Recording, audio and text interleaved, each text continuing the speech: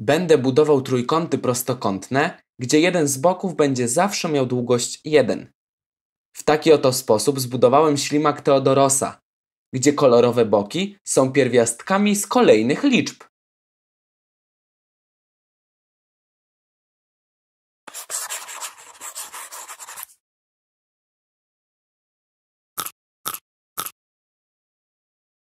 Przed obejrzeniem tego filmu wróć do wcześniejszego filmu o pierwiastku kwadratowym. W tamtym filmie obliczałem wymiary pokoju Janka i sypialni rodziców. W tym filmie zajmę się łazienką. Widzisz tutaj łazienkę, która ma kształt kwadratu i pole powierzchni równe 5 m2. Tak jak w poprzednim filmie, przyda się tutaj wzór na pole kwadratu, które jest równe a kwadrat, gdzie a to jest długość boku kwadratu. Spójrz tutaj. Wiemy, że pole tej łazienki jest równe 5 metrów kwadratowych. I jest to a do kwadratu. Zapiszę to tutaj. a podniesione do kwadratu jest równe 5.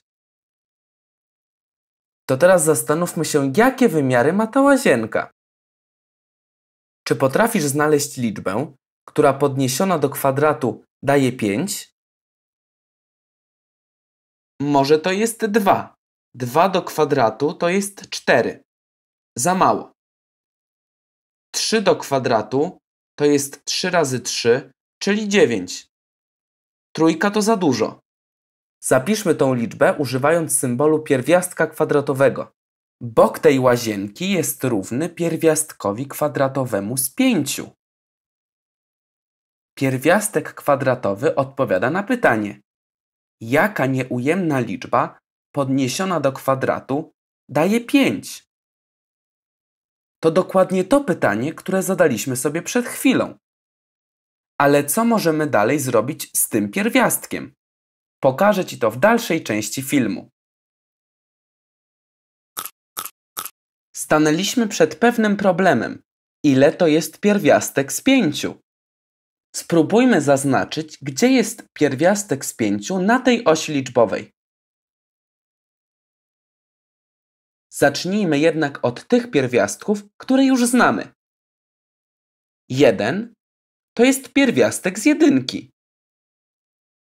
2 to jest pierwiastek z czterech. A 3 to pierwiastek z jakiej liczby? 3 to pierwiastek z 9. 3 do kwadratu, czyli 3 razy 3 to jest 9. To gdzie umieścimy pierwiastek z 5? Tutaj, pomiędzy pierwiastkiem z 4 a pierwiastkiem z 9. Pierwiastek z 5 jest liczbą większą od 2, ale mniejszą od 3. Aby podać bardziej dokładną wartość pierwiastka z 5, użyję kalkulatora. Zobacz.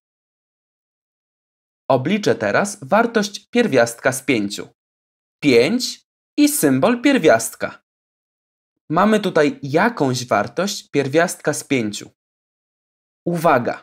Musisz wiedzieć, że pierwiastek z pięciu jest liczbą niewymierną. Co to oznacza? Tutaj za tą piątką znajdują się inne liczby, choć nie widać tego na kalkulatorze. Dlaczego? Ponieważ one nigdy się nie kończą. Na dodatek nie powtarzają się one w żadnym okresie. Takie liczby nazywamy liczbami niewymiernymi i potrafimy podać ich tylko przybliżoną wartość. Pierwiastek z 5 to w przybliżeniu 2,24. Zaokrągliłem wynik z kalkulatora do dwóch miejsc po przecinku. Pierwiastek z 5 to około 2,24. Zastanówmy się teraz, gdzie na tej osi liczbowej leży pierwiastek z dwóch. Na pewno będzie to pomiędzy pierwiastkiem z jednego i pierwiastkiem z czterech. Tutaj pierwiastek z dwóch jest liczbą większą od jednego, ale mniejszą od dwóch. Dzięki użyciu kalkulatora mogę poznać jego wartość. 2 pierwiastek. Pierwiastek z dwóch także jest liczbą niewymierną. Tutaj za tą siódemką znajduje się nieskończenie wiele cyfr. Mogę za to powiedzieć, że pierwiastek z dwóch to w przybliżeniu 1,41.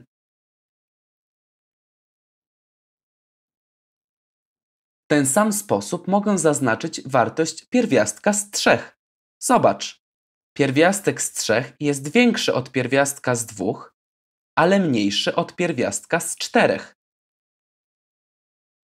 Przybliżoną wartość pierwiastka z trzech możesz obliczyć za pomocą kalkulatora. Wykonaj to samodzielnie po obejrzeniu tego filmu. Ponieważ nie potrafimy podać dokładnej wartości pierwiastka z dwóch, pierwiastka z trzech i pierwiastka z pięciu, w dalszych zadaniach będziemy pozostawiać pierwiastki zapisane w takiej formie.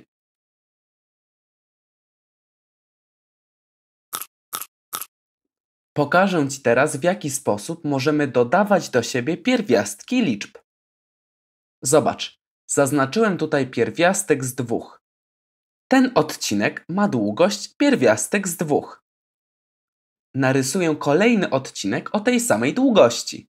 Mam tutaj pierwiastek z dwóch i drugi pierwiastek z dwóch. Cały odcinek ma długość dwa pierwiastki z dwóch. Zobacz, pierwiastek z dwóch dodać pierwiastek z dwóch to dwa pierwiastki z dwóch. Dodajmy jeszcze jeden pierwiastek z dwóch. Mam tutaj jeden pierwiastek z dwóch, dwa pierwiastki z dwóch, a tutaj trzy pierwiastki z dwóch. Zobacz, w jaki sposób dodałem do siebie takie same pierwiastki.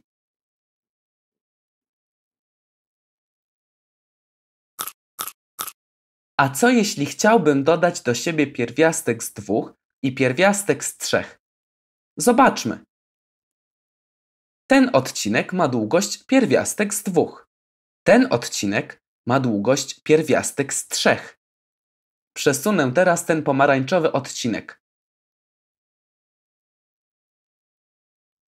Mam tutaj pierwiastek z dwóch, dodać pierwiastek z trzech. Ta liczba, którą widzisz tutaj, to pierwiastek z dwóch dodać pierwiastek z trzech. I nic z tym więcej nie możemy zrobić. Gdy dodajesz do siebie różne pierwiastki, musisz bardziej uważać. Zobacz, pierwiastek z pięciu jest tutaj. Pierwiastek z pięciu oraz pierwiastek z dwóch plus pierwiastek z trzech to są dwie różne liczby.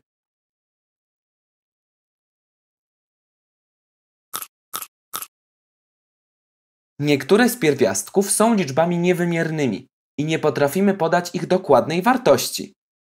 Możemy zaznaczyć je na osi liczbowej i zapamiętać przybliżoną wartość.